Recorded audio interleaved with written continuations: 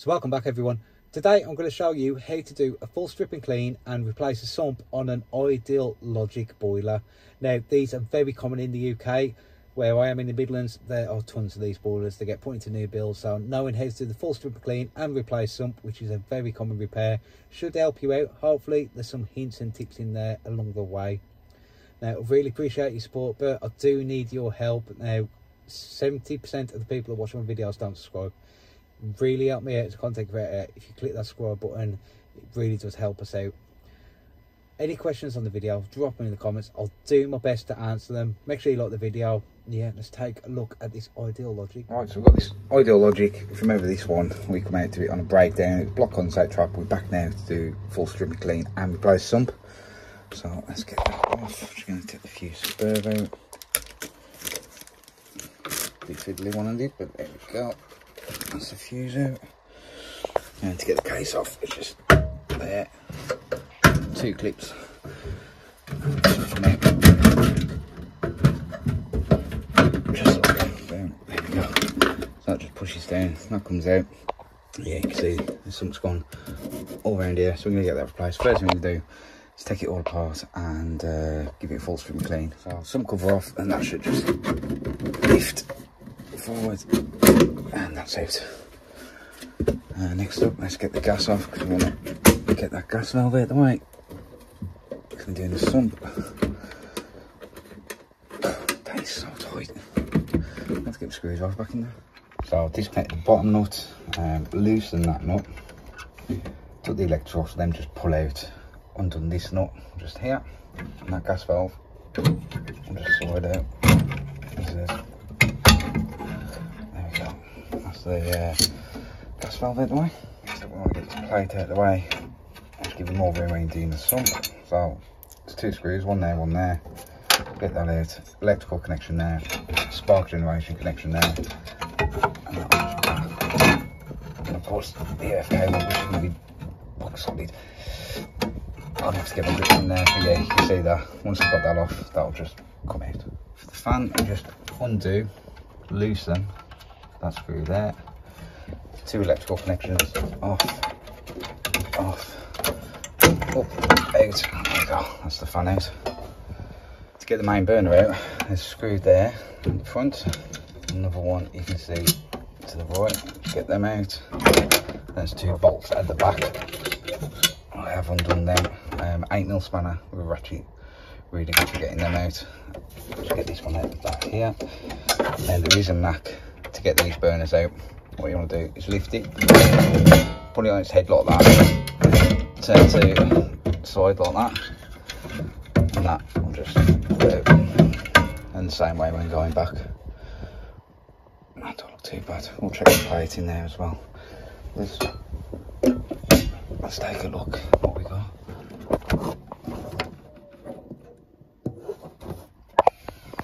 what we got. I'm going to change the ignition. We're going to give that a full wash out so um, we're going to put the sump cover back on there. Just so when we put the water down here it doesn't overflow here. Here's a better look at the state it's in the moment so yeah. That has not been done for a long long time. So let's give that a really good clean out. So i've just gone to get the Karcher guess what? Left it on put it on charge last night because i knew i had this job left it on it's miles away so you have to do it old school. So the electrodes, three millimeter Allen key. I'm just going to take them out. So it's just two screws, one there, one there, undo them, and that will come out. The screws out on that, it'll just. There we go. Then we get that replaced. Jug in a bucket. Have to wash it through. See, it'll start coming out there now. That's why I put the sump cover back on. Yeah.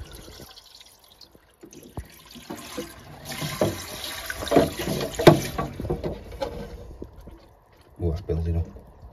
Come on, drain away. Oh, I blocked the trap up already. Mm. Oh, there it goes. There's some more coming out of there. There we go. There's a few drops of water down there. I'll look a couple more through, but yeah, if you haven't got one of them pressure washers, you can just use a jug. But I'm absolutely gutted I forgot that. Absolutely gutted. Never mind, it's still cleaned, um, brushed through.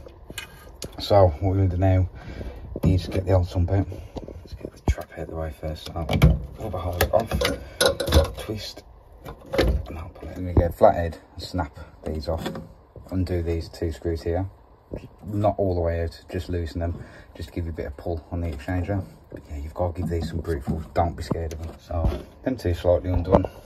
I'm gonna get in there now and just snap these off.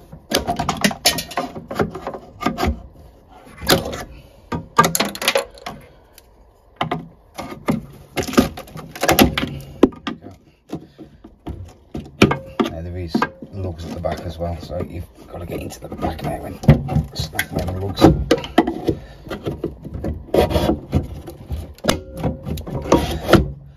See if I've got a crowbar. Crowbar might be there here. Crowbar in the back there. There we go. So yeah, I did damage it, but it's out anyway. There we go. There's the bottom of the heat exchanger. Looking too bad. Yeah, it's not too bad. So, that looks pretty bare now, don't we? There's hardly anything in there. Took everything out. The take long strip these though. I do like the Logics to work on. Very, very easy once you get the knack of them. So, let's get the new sump. There is a new sump. Um, there is two different types of these. Make sure you get the right one. This is for combi. All I've done is put some silicone grease on there, round the edge of there. And I'm going to try and do now is feed it that gas pipes and went over. Now you switch hands. Feed it round the back there. To try and push on. I'll push on the back first. So you need to get in push up. You need two hands for it though. So you want to like angle the back and push up, and it will click. It can be a bit of a struggle, but yeah, you just want to hear a click when you push it in. Alright, so I did to click the back in then. The front, you leave it snap on. There you go, that one stay on, but there we go. So yeah, that's all clipped in. You can run your fingers around the back. You can feel it's gone on or not. That means done. That's new something nice and once you get into the habit of doing them, they're nice and easy. Console trap, it's nice and clean. Let's get you back in. What am I doing? Come on. So I'll just go over there, push in, you leave it twist, and that's locked in. Then you try to get your arse back on. Where's the arse? There we go, we found him, he's in my bucket. So that bit goes onto there, twist round, done. Uh, let's get the burner back in now. New gasket on the burner, you just peel that off, put new one on. Only goes on one way, and you want to put it in like that. You see the it's deep there.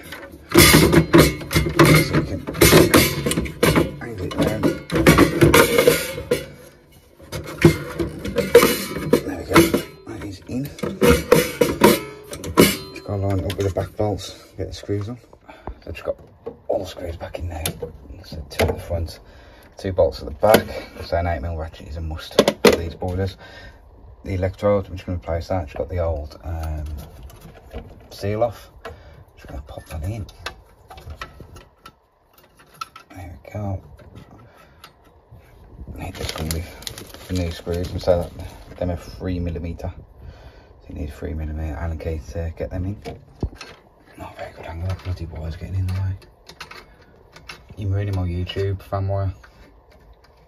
Oh, uh, so yeah, screw there, and we'll get the other. We'll get the other one in as well. There we go. Let's get them tightened in. And that's tight. To be fair, these wheel Allen keys have been great, to be fair. They fit in really nice. I've actually, haven't lost one yet. Right, that's done. Let's get this pipe back on. So that should hook on there. You can see where the two screws go. Just there. But interesting fact, that earth lead has to be changed because they've changed the design of the electrode. I didn't throw it. See the difference? The earth lead on that one's at the bottom, the old one, and the new one's at the top. That earth lead was too short, so you have to replace the earth lead. It comes with a pack class, so gonna have to take that screw out. So it will reach up there. There we go, just got the two screws back in there. The Electric's back on. That leads back on. let's put the fan back in. So if you look on the fan, there's two lugs just there. Then we've got a hook in to there. What I'm gonna do is put it, put it in. Just a hook on the top, and you'll know when you got it in because you won't be able to pull it out. Once you know you got it in, you can tighten that screw back up just there. It's a flathead, so there we go. Now I used to take that screw all the way out until I went up to see Alan Hart and he said no. That's that screwdriver. I said no, just undo it. So you only have to undo that. So electrical connection is back on. Then we're going to find that screwdriver and get the gas valve back on. New seal up here. New seal there. All comes with a pack. So just replace some seals. Gas valve facing that way and it should. That way should. Push in. There you go. You just tighten that bottom knot up first. Just uh, hold it in place. And the knot, I should go all the way down the back of it. There you go. Then he will connect on Just like that. And that knot there. Onto there. Ah, ah. Injector. I've got to take the injector want to clean that. It's okay. Just leave that disconnected. Tighten them up. We're going to take this injector and clean. Under the two screws, either side of the injector. There you go. You want to set that out. Give that a really good clean as well. Just give the injector a good clean. Let me get that back in there. Just get them two screws back in. Screws back in. Tighten that on. There we go. That's better. I'm just going to tighten that knot, that knot, and then I'll tighten in I forget. Tighten up the screws on the heat exchanger that we're loosened here.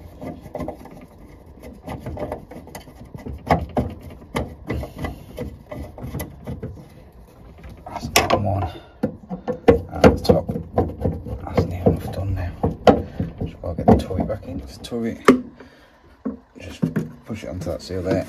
Up. And it should just get over that lip. I'm going to need two hands though because it can be a bit tight. Hold on. There you go. So it just goes in there. Push it back and pull it down. And it'll seal it. There we go. That's that back in. Get the new sump cover on. There we go. And that's it all back together. Let's give it a test. Actually, before we test it, let's do the expansion vessel and clean the filter. So let's get this magnet out. TF1 and probably start leaking. Because the leak as soon as you look at them. Then we can open that now. Bit of a tip. Washing machine hose straight into a bucket. Fits onto them perfect. So let's open this up. That cap should fit over there. You can twist it.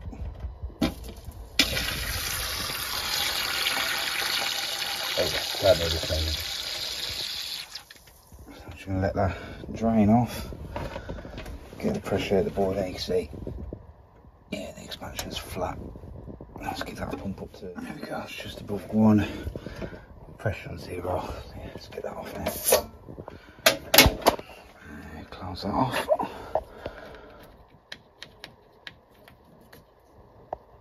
Close that. Let me get that off.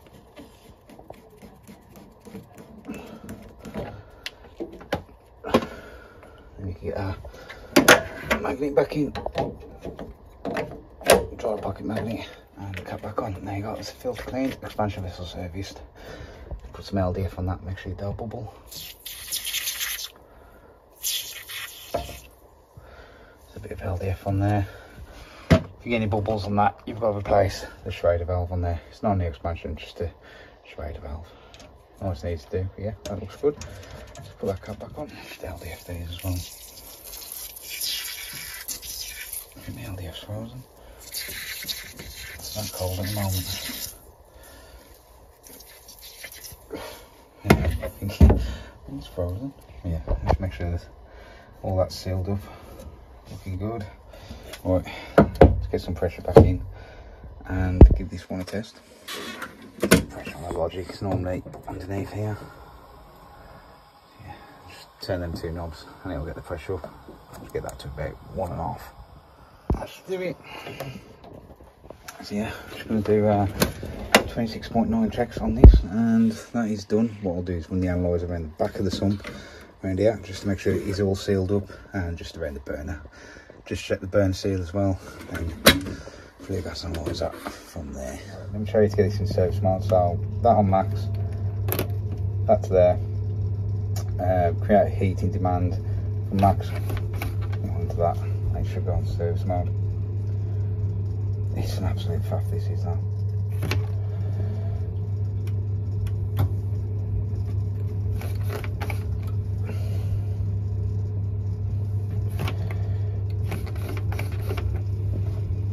There we go, it's twice, so yeah, it's a, it's a bit of a faff. So that'll take put into minimum and to get to maximum.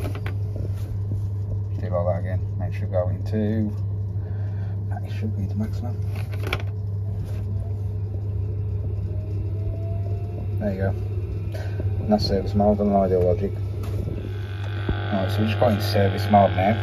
Uh, we've got a minimum output and it tells you how to move the sending knob to end. So that's just on minimum. Let's check that. Looking good. I'm on maximum, so there we go. Full strip clean, sump replacement, all done on the Ideal Logic Combi. Don't forget your stickers if you have a problem, going to phone? They're going to phone you back.